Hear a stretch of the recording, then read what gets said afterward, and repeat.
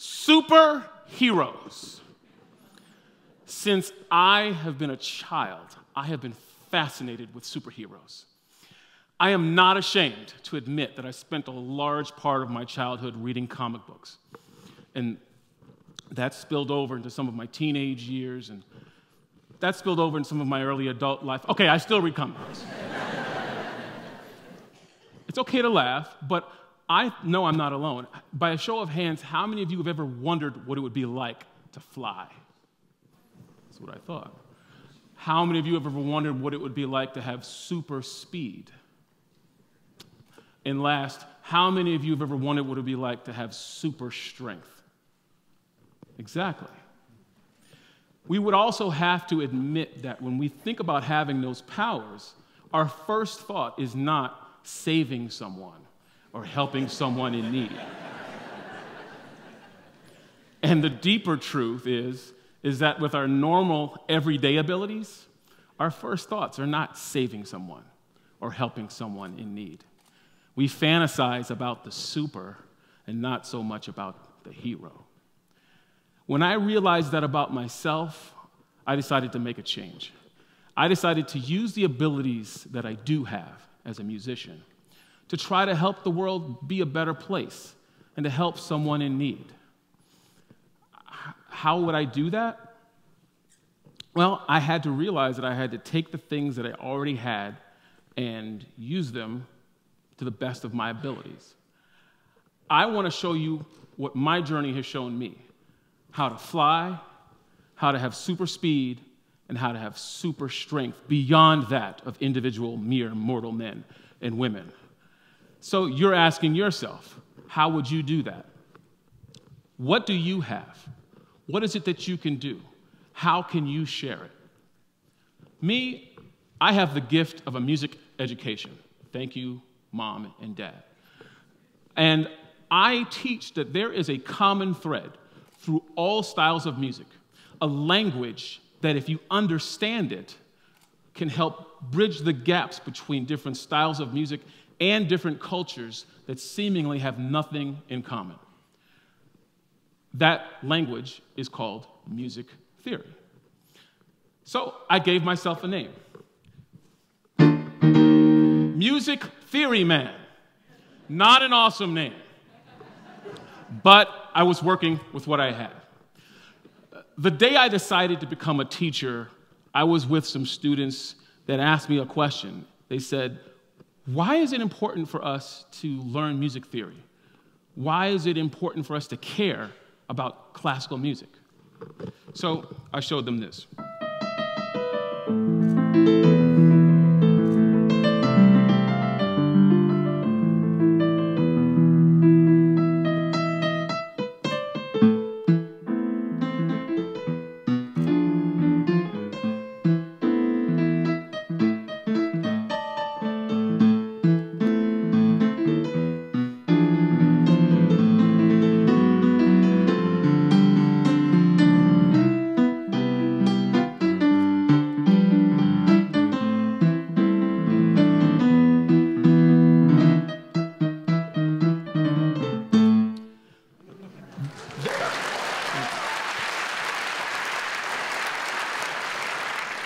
They were amazed.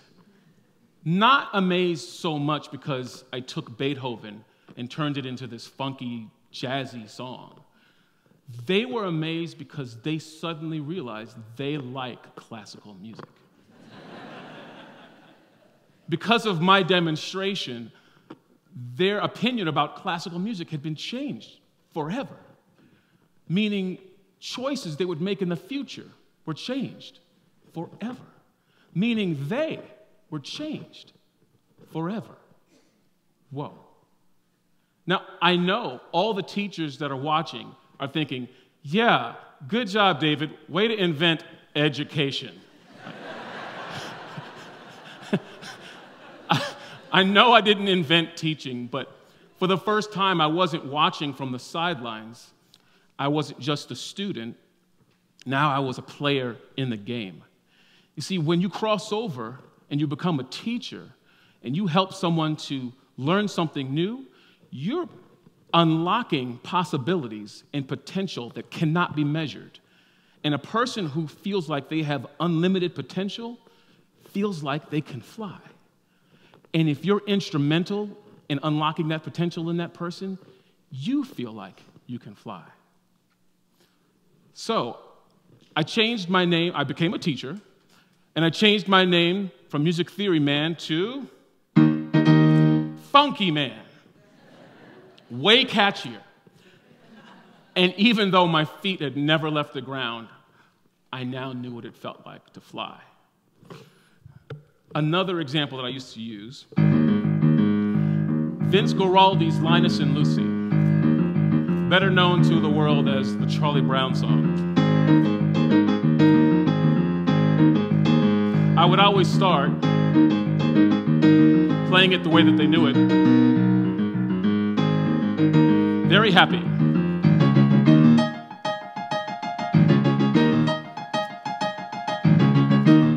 And then without saying anything, I would slow the tempo down, change the major key to the minor key,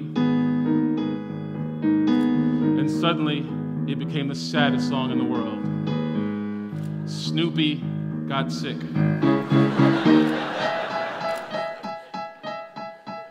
Now, if I were to take the left hand motif and add a minor second to it, and do the same thing with the melody, Suddenly, it sounds like bizarre chaos. Snoopy does not have health care insurance. now, if I take the right hand motif, instead of using a major scale, I change it to a blues scale and add a couple of nice chords. Suddenly, it becomes gospel music.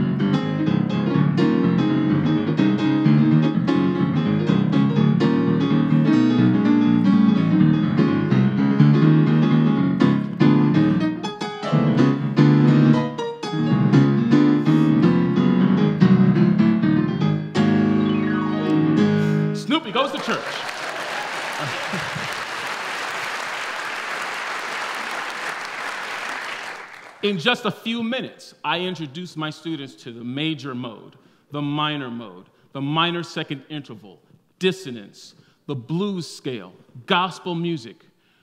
And they're listening and taking it all in, all because they're familiar with what I started with. Lessons taught at super speed.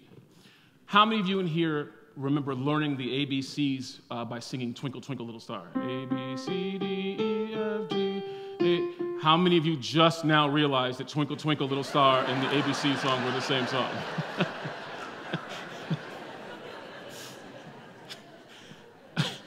when I was a kid, I had to learn and memorize and recite the preamble to the Constitution. And you know what helped me? Schoolhouse Rock. And I stood there in class going, in time, we the people, in order to form a more perfect union. I mean, I did the entire preamble as if it were the song. If you have something to share with someone, part of your experience or your knowledge, you can capture their attention and enhance the speed of their learning by using something that they're already familiar with, just like I've done with you. Super speed. Now, flight super speed. How about super strength? I started to realize that music and people were very similar. If you take a piece of music, change a major scale to a minor scale by just altering two notes, you change the piece completely, just as we saw. If you take a person and you can change their idea about something, you can change that person completely. And if you take people with changed ideas and put them in a community or a group, you can change the group completely. This is true at Tufts University, where I direct the third day gospel choir. The Tufts University Third Day Gospel Choir every semester has almost 250 students coming together from all different backgrounds, belief systems, and experiences to come learn about African American worship style and music. Every semester for the last 10 years, I've taught them all one song. Well, I've taught them lots of songs, but I've taught them all one song in particular in common. It's called I Need You to Survive, written by David Frazier. And the song teaches us the message that we're stronger as a community than we could ever be as individuals. I want to sing a little bit of that song for you, and I want you to help me sing it too. All you have to sing is, I need you to survive. Can you say that? So when I point to you, I just want you to sing, I need you to survive. Try. Very good. Goes, I need you, you need me. We're all part of God's body. Stand